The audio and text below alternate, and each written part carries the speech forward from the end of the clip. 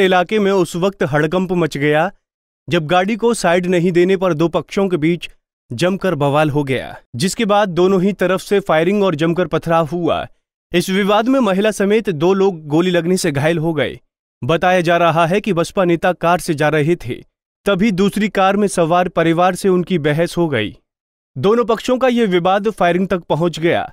इसके संबंध में थाना हाजा पर, थाना अनूप शहर पर मुकदमे, तीन मुकदमे पंजीकृत हुए हैं। एक स्कॉर्पियो गाड़ी का ड्राइवर, उसने मुकदमा लिखाया है।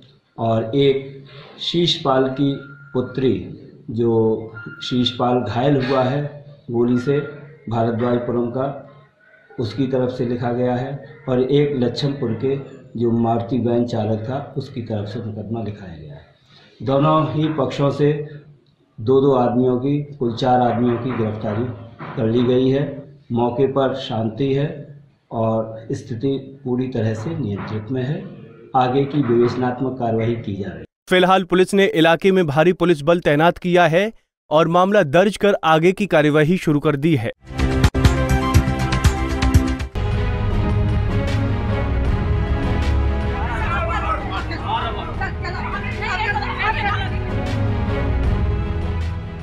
ये हंगामा सोनीपत के शंभू दयाल स्कूल में हो रहा है और इसलिए हो रहा है क्योंकि यहाँ की एक अध्यापिका ने एक मासूम बच्ची की न सिर्फ़ पिटाई की है, बल्कि उसके बाल तक नोच लिए हैं। जी हाँ वो भी होमवर्क पूरा न करने को लेकर।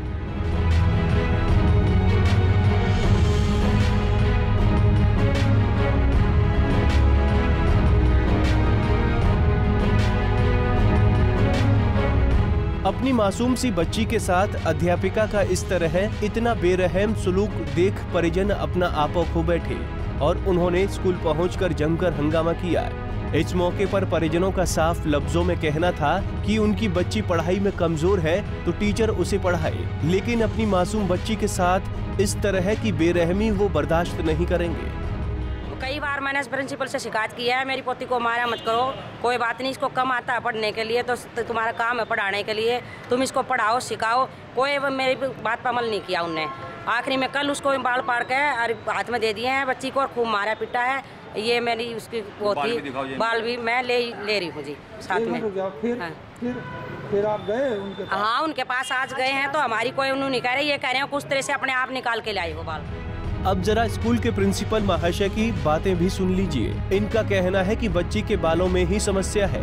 उसे किसी भी टीचर ने मारपीट नहीं की है। कुछ नहीं था सब कुछ नहीं। किस कारण हुआ झगड़ा? झगड़ा किस कारण हुआ था? अरे वो बच्चे की कोई थोड़ा सा जो है उसकी प्रॉब्लम बालों में थी गार्जियन कह रहे हैं कि टीचर ने बाल खींचे हैं। ये बात थी बस। टीचर को मारने भागे थे? हाँ टीचर को मारने वाले कोई स्कूल की तरफ़ से कोई एक्शन लिया जाएगा? टीचर की गलती नहीं है इसमें। वहीं जब ये पूरा मामला एडीएम के पास पहुँचा तो उन्होंने मामले की जाँच जिला शिक्षा अधिकारी को सौंप दी और जल्द से जल्द जाँच की रिपोर्ट देने की बात कही। इस मामले में जिला शिक्षा अधिकारी का क्या कहना है आइए सुनाते हैं। इस बारे में जाँच होगी। अभी मैं लड़की से मिली हूँ। मैंने देखा है कि थोड़ा सा वहाँ उसके बाल उखड़े हुए हैं। अगर बच्ची कोई कसूर भी करे तो भी वो इतनी छोटी बच्ची है, उसको प्यार से समझाना चाहिए था। अगर टीचर ने ये ऐसा किया, अभी ये जाँच का विषय मैं जाँच करूँगी और आज आज ही जाँच हो जाएगी, आज ही निर्णय ले लेंगे। अगर वास्तव में उस टीचर ने ये काम करा है तो वो टीचर कहलाने लायक नहीं है और उसके खिलाफ सख्त से सख्त कार्रवाई। स्कूल में एक बच्ची से मारपीट होती है, उसके बाल नोच लिए जाते हैं और स्कूल प्रशासन पूरे मामले में पल्ला झाड़ लेता है। हालाँकि मामले की जाँच की जा रही है, लेकिन आप ही बताइए कि क्या स्कूल प्रशासन सच बोल रहा है? या फिर क्या ये मासूम सी बच्ची इतना बड़ा झूठ बोल रही है?